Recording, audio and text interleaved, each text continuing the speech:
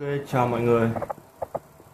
Mình là kỹ thuật bên trung tâm nó 2 Hôm nay một buổi sáng mưa gió Mình nhận được khoảng chục cái mail H61 à, Bây giờ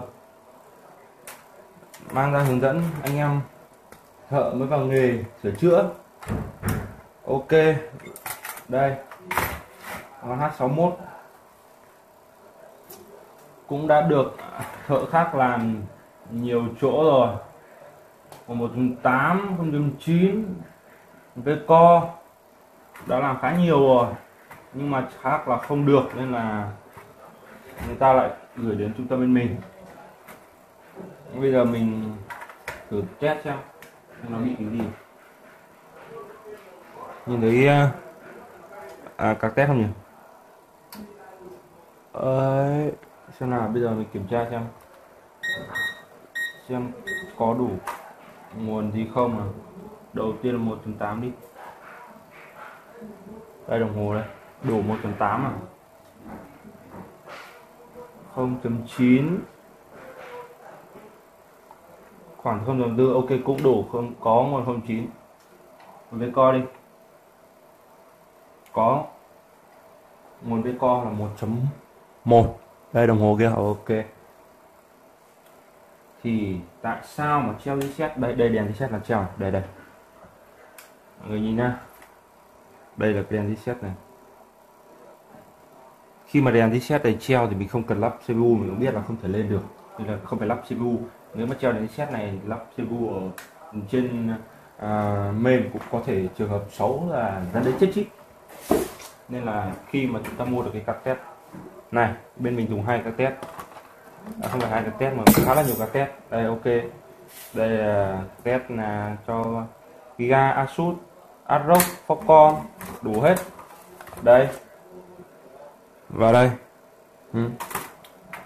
mình cắm cái nặng được. Ok tình trạng uh, treo reset này thì mình kiểm tra xem xem còn mất cái gì ngoài các nguồn chính. Bây giờ mình đi kiểm tra lệnh mất hẳn luôn ở chỉ có chân nguồn cấp của bên trở là 5V thôi không? Bên đầu ra của hàng main 2.2 GHz61 này là đánh nhé phải là 3V tròn nhưng mà con này thì không có. À, ok thì bây giờ mình thử kiếm con trở khác mình thay vào cho bạn xem. Xong rồi tí nữa hết video mình sẽ xe cho các bạn à, xem sơ đồ. Mình đã sửa những đâu đâu đâu. Bây giờ phải theo chuẩn đoán thì là phải đi kiếm một con ờ, trở vào đã. Một con trở ờ, mình cũng không nhớ nó là chỉ số bao nhiêu. Mình chỉ biết là đường vi 2 và nó nằm ở cạnh IO thì nữa mình rồi xem các bạn xem sơ đồ. Ở trên main thì con đấy nó đang bị lỗi.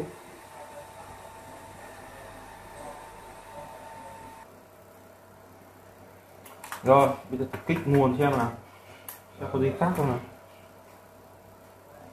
Ok và đèn reset đã sập lắp chip vào xem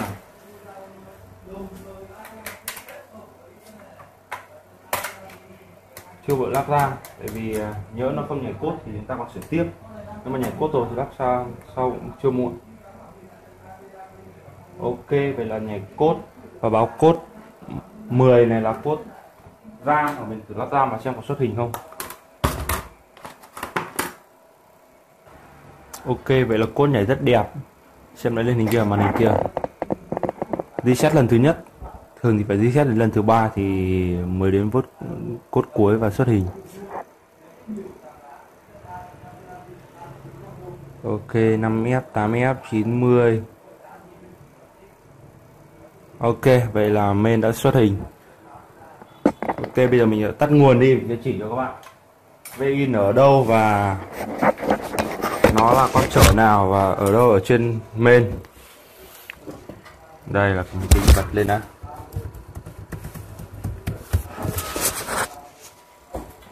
Rồi, trên sơ đồ thì linh kiện lúc nãy mình vừa nhấc ra thay là con R59 đây là bot view. Đây là vị trí của nó trên linh kiện à, vị trí của nó ở trên main. Xin lỗi xin lỗi. Thôi rồi đây và xem con R59 là con gì? R59 là nguồn pin 3 và nó có trị số là 7.15k đấy lúc nãy con này lỗi. Khi thợ khác sửa thì người ta cũng có thể là người ta không sửa được. Tại vì những nguồn này thì nó khó hơn những cái bệnh mà thợ trước nó đã sửa. Thợ trước nó chỉ sửa các nguồn chính.